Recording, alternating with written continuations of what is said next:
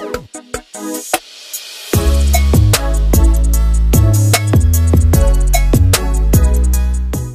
Pindi Express has left the station, that's for sure.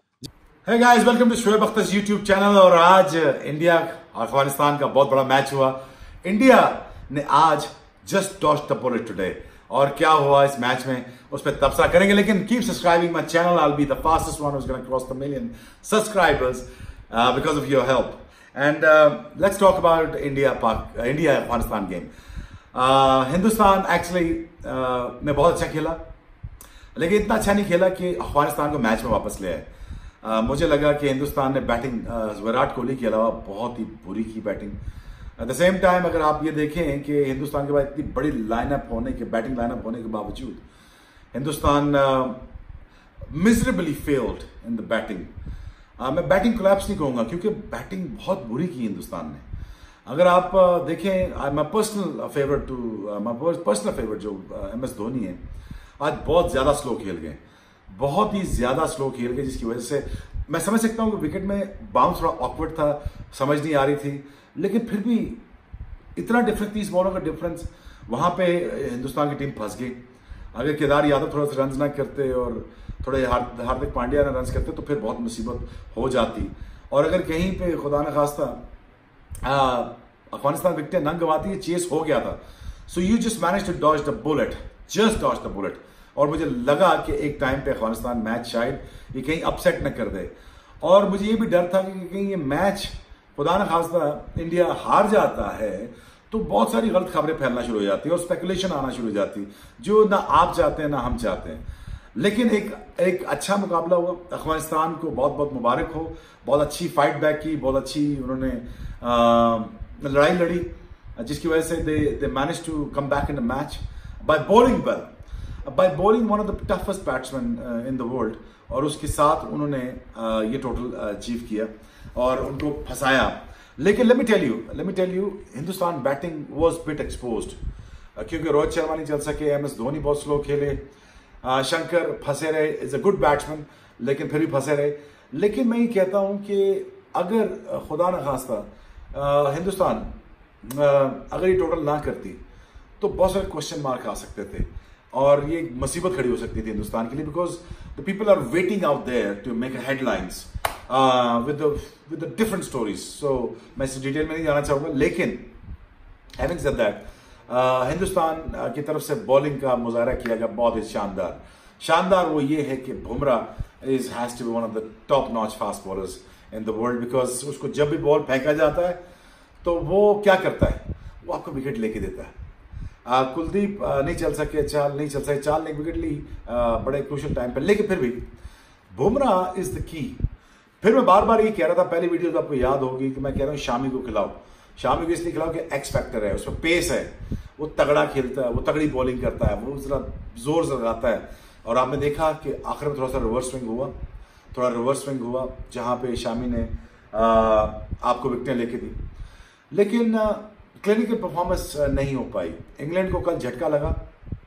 اور خوب جھٹکا لگایا۔ اور ان کو بھی سمجھ آ گئی کہ کیا کرنا ہے۔ تو میرے خیال میں کہ اب بڑی ٹیموں کو یہ سوچنا چاہیے کہ کرنا کیا ہے ان کو۔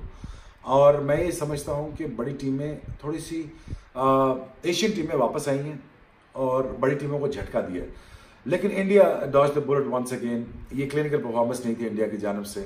اور انڈیا کو لیے یہ ویک اپ کال تھی۔ اور یہ ویک اپ کال بہت اچھی تھی۔ بفور دا سمائی فائنلز یہ ویک اپ کال اچھی تھی انڈیا کے لیے۔ کیونکہ کیونکہ یہ جھٹکا لگنا ضروری تھا۔ اگر یہ جھٹکا کہیں سیمی فائنل میں لگ جاتا تو تو کیا ہوتا؟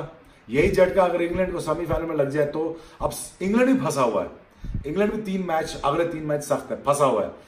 انڈیا کے لیے بہت اچھا بلیسنگ ڈسگائز ہو گیا کہ جھٹکا پڑ گیا ویک اپ کال آ گئی۔ شاید وہ برا دن تھا جو آج ان کے پاس آ چکا ہے۔ اور وہ اس میں سے گزر گئے ہیں۔ انگلینڈ کال بچارا نہیں کر پایا، وہ پھنس گئے ہیں۔ Hindustan manage somehow manage to got out of this because of the bowling میں ہمیشہ کہتا ہوں ہندوستان کی بالنگ اس ڈے اینڈ ایج میں سب سے اچھی ہے۔ بمرا اینڈ شامی اینڈ چار Kuldeep is just fantastic they are just like I mean brilliant بہت تگڑی بالنگ کرتے ہیں۔ سو so, میں یہ سمجھتا ہوں کہ کلینکل پرفارمنس نہیں آئی لیکن ویک اپ کال آ گئی ہے۔ ہندوستان کے اب میچز تگڑے میچز رہتے ہیں۔ اور اس میں ٹیسٹ کرنا ہوگا ہندوستان کی بالنگ اور بیٹنگ کو اگینسٹ نیوزی لینڈ اور اگینسٹ ایک اور ٹیم کے خلاف ان کو ٹیسٹ کرنا ہوگا۔ ساؤتھ افریقہ کے خلاف میرے رہا ان کا میچ رہتا ہے۔ تو میں یہ سمجھتا ہوں کہ اب وقت آ چکا ہے کہ اس میچ کے بعد ڈیسائیڈ ہو چکا ہے کہ ہندوستان از گیٹنگ تھرو لیکن ابھی یہ مت بھولیے شلن کا پر تول رہا ہے، بنگلہ دیش پر تول رہا ہے۔ وہ کہیں بڑی دو ٹیمیں، تین میچ یا دو میچ ہارتی ہیں اور بنگلہ دیش یا سری لنکا دو میچ جیتتی ہیں، تو بڑی مصیبت ہو جائے گی۔ تو اسی لیے میں سمجھتا ہوں کہ ٹورنامنٹ اب تھوڑا سا کھل گیا ہے۔ ہندوستان اپنے سیف سپورٹ پہ چلا گیا ہے۔ اگر وہ میچ آج ہارتے تو ٹورنامنٹ کھل جاتا اور بہت ساری باتیں کھل جاتی جو بڑی ریلیونٹ ہوتی۔ سو فائنلی میں یہ کہوں گا کہ ویک اپ کال اور ایک جھٹکا جھنجھوڑا ہندوستان ٹیم کو اور ان کو سمجھ آ گئی کہ یہاں پہ ہمیں کلینکل پرفارمنسز چاہیے تھی پوری اسٹرینتھ کے ساتھ گئے اندر۔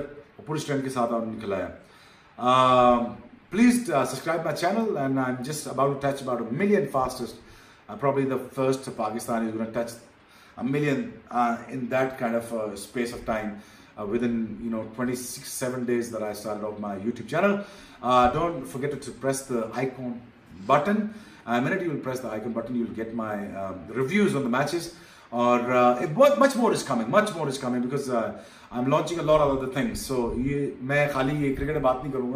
going to tell you about my life and I'm going to tell you about my rest of the story of the you know in my playing days what happened what actually happened. So keep subscribing to my channel. Thank you all. Love you all. Take care.